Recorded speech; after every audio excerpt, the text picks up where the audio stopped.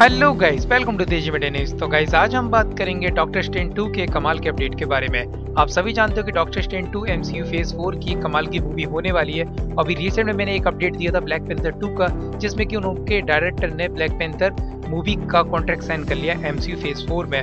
अब doctor stand 2 का कमाल का अपडेट ये आया है कि अभी हाल ही में बैंडेड यानी डॉक्टर स्टेंज का इंटरव्यू हुआ था और उन्होंने ये रिवील्ड कर दिया कि हम डॉक्टर स्टेन 2 की शूटिंग 2019 के एंड ऑफ़ द ईयर में स्टार्ट कर देंगे। यानी कि ये प्रोडक्शन में चल रही है और फाइनली इसकी एक जनवरी से शूटिंग स्टार्ट हो जाएगी। और उम्मीद करते हैं कि हमें फरवरी तक इसकी सेट फुटेज भी देखने को मिल जाए विलन के बारे में पता चल जाए और कुछ अपडेट जानने को मिले।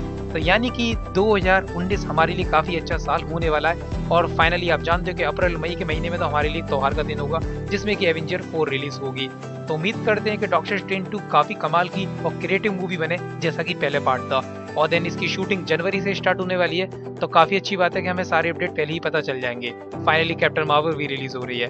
तो गाइज़ आज के लिए बस इतना ही। अगर आपको ये अपडेट ये वीडियो पसंद आया तो प्लीज़ लाइक कमेंट शेयर करो। जो बंदे इस वीडियो को नहीं देख रहे, या तो उस पर आयरन के हाथ मारो या पैर मारो। सब्सक्राइब करो। बाय बाय जा रहा हूँ। रात हो रही है